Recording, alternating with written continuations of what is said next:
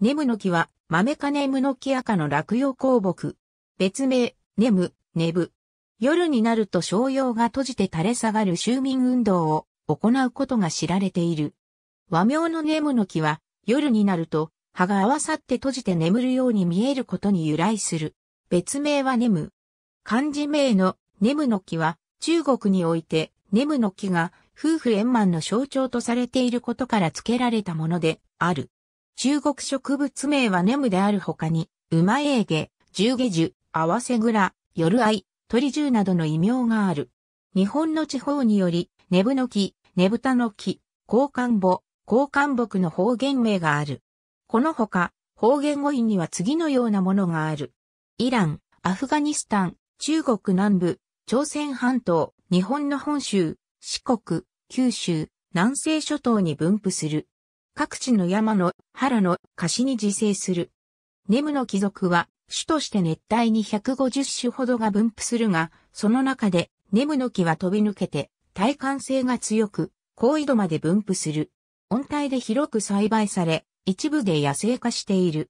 落葉紅葉樹の小高木、または中高木、河原や雑木林に生え、高さは6から10メートルになる。成長は早い方で枝は横に広がる。葉は大型の2回偶数状服用で多くの小葉をつけ、夜は小葉が閉じる。夏季は夏で小枝の先から花柄を出して、淡紅色の花が10から20個集まって、登場果樹のようにつき、夕方に開き、翌日にはしぼむ。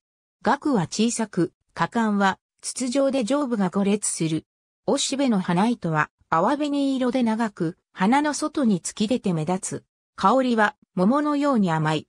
豆科に属するが、豆赤に特徴的な長径毛とは大きく異なり、花弁が目立たない。果実は、糖化で、光線形で細長く、扁平である。鞘は、長さ10から15センチメートルの長楕円型で、中に長さ10から15ミリメートルの楕円形の種子が入る。果実は10から12月に褐色に熟す。幼樹であり、荒れ地に最初に侵入する先駆種である。芽吹くのは遅いが、成長は他の木と比較すると迅速である。ネムの木の周民運動は、葉の付け根の膨らんだ部分の内部圧力を変化させる仕組みにより葉を開閉する。周囲が暗くなると葉を閉じるが、光を当て続ける実験を行ったところ、体内時計による外実リズムに従って就眠することが判明している。成長速度は速い方で日当たりの良い場所に植えて育てる。土質は全般で湿りがちな場所に根を深く張る。種子は春巻きする。植栽適期は10月中旬から11月、2月下旬から3月、6月下旬から7月とされる。団体、熱帯性の植物で高い気温を好み、幼樹であることから、日陰地は好まず、剪定を嫌う性質を持っている。施肥は1から3月に行う。中国石化草子の街路樹鑑賞用に庭園樹になるほか、街路樹としても使われる。材は器具材として利用される。害虫駆除、鎮痛、家畜の飼料などにも利用される。塩害に強い特性から、日本では古くから海岸線の防風林として利用されている。枝が横に張り出す個性的な樹形と涼しげな葉や葉けを思わせる花の優美な印象から、観賞用に広い庭などに単独で植えて楽しまれる。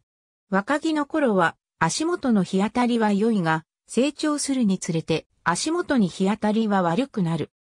花の独特の形は干渉性が高く評価されているが、木の高い位置に花を多くつけるため、花を楽しむには建物の2から3階くらいの高い場所から眺められるような環境が必要となる。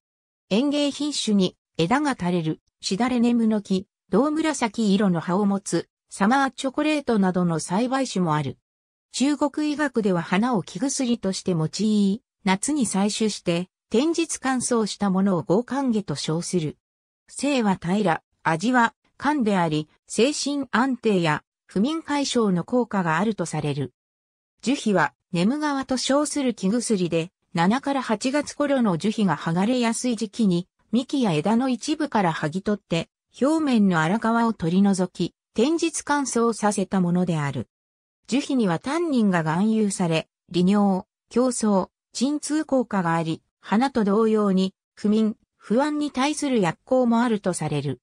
民間では花、樹皮ともについた治療5から 10g を水 600cc で半量になるまで煎じて3回に分けて服用することでストレス性の不眠、不安に良いと言われている。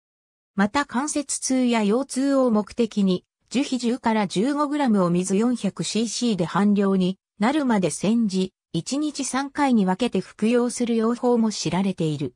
さらに、打撲や座礁には、眠側を黒焼きにして、木、柏松を混ぜて、酢で練り、レーシップに用いる。